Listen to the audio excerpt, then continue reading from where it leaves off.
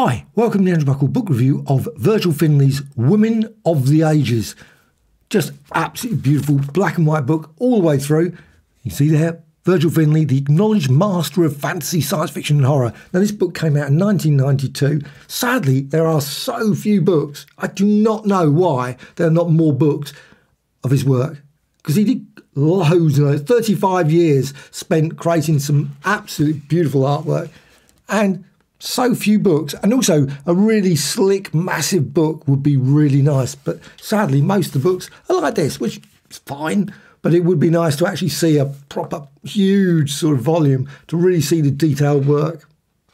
1992, about 160 odd pages. There's 147, but with the introduction, of course, 160 in total, I think. So there you got details there. And let's say you got introduction, got details about him. I must admit, didn't know that he died in 1971. There's details there. January the 18th, 1971, 56, 35 years of fantasy, did Weird Tales magazine and many, many others. Lots of examples of his work all the way through. Of course, again, if you're looking for other ones, obviously there are other books. The first book of, second book of, but they are quite expensive to pick up nowadays. I was really pleased to find this because quite often this book is quite expensive. I think it was about a couple of pounds. I thought, oh, that's wonder why that's so cheap. Well, I thought I'm going to get that. So Roads Seabury Quinn, 1938, absolutely brilliant book or novella. I just love that one. The Ships of Ishtar, and that one I think that's Van Vogt. I think isn't it? I think so. Ship of Ishtar. There's more details there thing about it, it doesn't give any details about dimensions or particularly much information. It's, it's nice they include some information. Now, of course, this is, I assume, when this was actually published and not obviously when it was created. I don't know. Because sometimes some of these might have been done like a couple of years before, maybe from different magazines as well, because sometimes these were reused, I suspect. Now, this one, a Lighthouse, Edgar Allan Poe, and again, absolutely stunning. I mean, you could you could create these in Photoshop, I'm quite certain, but it's so detailed. I mean, that stippling, uh, I'm just glorious. Unfortunately, some of them doesn't give much detail. got here, like from the American Weekly. There's a few of those from the American Weekly, and they all seem to be over the place. So there's some of these ones doesn't give a date either. So who knows? But it'd be very hard to find from the American Weekly. Oh, this one does give a date. Silent Night. I mean, absolutely stunning. Now that one, let's have a look. Uh, in the or in the penthouse, 1952. So pretty stunning. Well, they're all stunning. I think they're absolutely beautiful. Absolutely beautiful. Not a single one that you can really say looked poor quality. I don't think. There might be a few examples, but I think most are really super sharp. And I look at that effort that must have taken to actually create that lovely hair there. And oh, it's that one there. Oh, it's sometimes it doesn't even seem to give a detail. Oh, yes, it does. There it is. I'm saying it doesn't, and then it does. Spiral of the Ages, and this one's Fletcher Pratt, 1954.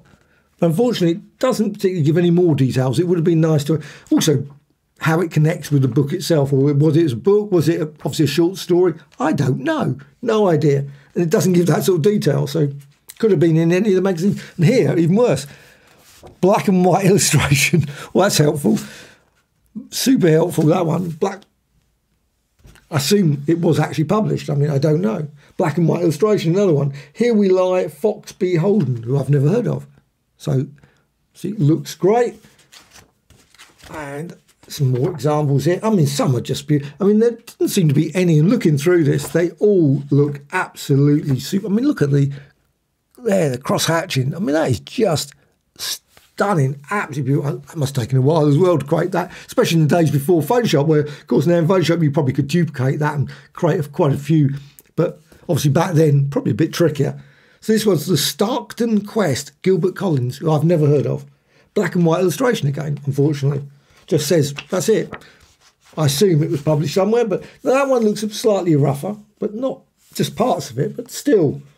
The Mandarin's Ear, Again, no idea when it was actually. And it would have been nice to have had a little bit, a little bit more detail about that. Astrological illustration. Again, doesn't give any details in terms of when that was published or not. The Dark World, Henry Kuttner. There. 1954. And all the way through, back right to the back, and then you've got just a little there. Virgil Finlay's science fiction horror. I don't think I've ever seen that one.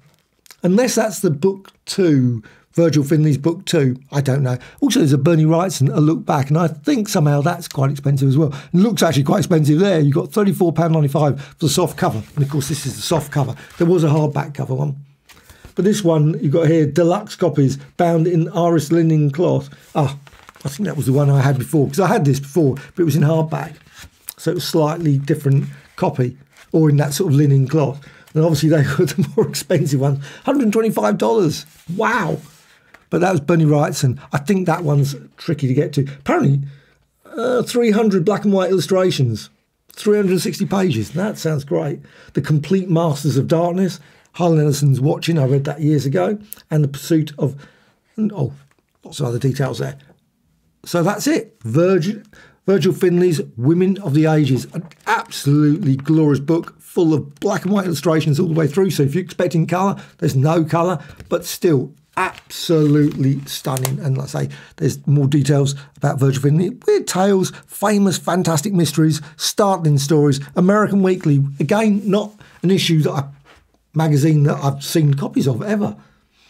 But still, lovely book. Absolutely pleased picking this up because so I've got the other one. Um, I can't remember called now. Strange Science or something it's called. But uh, unfortunately, the other copies I've had of his work, I got rid of years.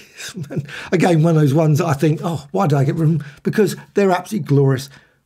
Brilliant book. Absolutely recommended.